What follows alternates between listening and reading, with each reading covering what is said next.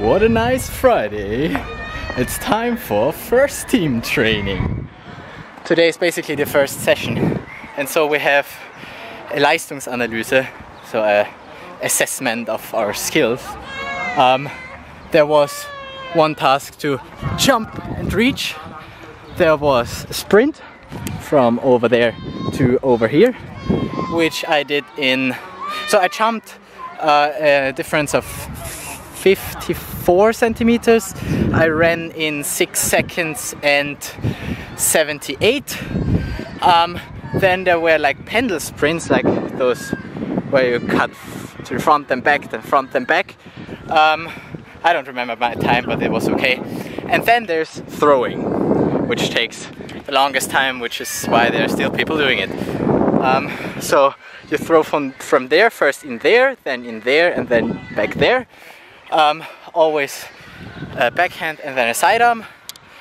Um, and you have a maximum of three throws per thing. And I aced it. It only took me one throw each.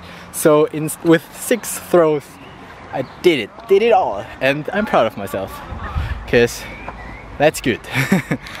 ah, right. Um, I don't like that we're doing it today, because like on the weekend, there's our camp. And so we will basically be playing all day. And from the sprinting and all the and we will play as well now in a few minutes when they're done.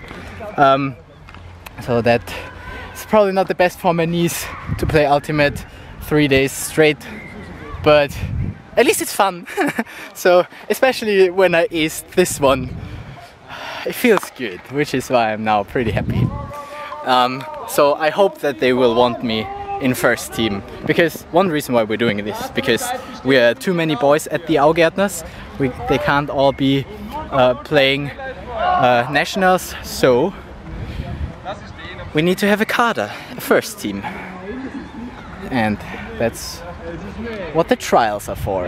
That's what the training camp is for and also this diagnosis or assessment, whatever. Right! Uh, enough about my uh, uh, whatever time spent in a Friday at the Friday afternoon. I've been at the EAP English for Academic Purposes lecture today. That was good. Actually, I really liked that course, and Mrs. Campbell is really nice. I like her. Even though I will be missing two uh, of the lectures and I might be missing the exam, she still says, yeah, we'll see what we can do about it. And if I fail, I don't mind. But yeah, that's a completely different topic. I should stay with one topic per vlog and the overall theme of telling you to make your backup. And I'll see you tomorrow at the camp.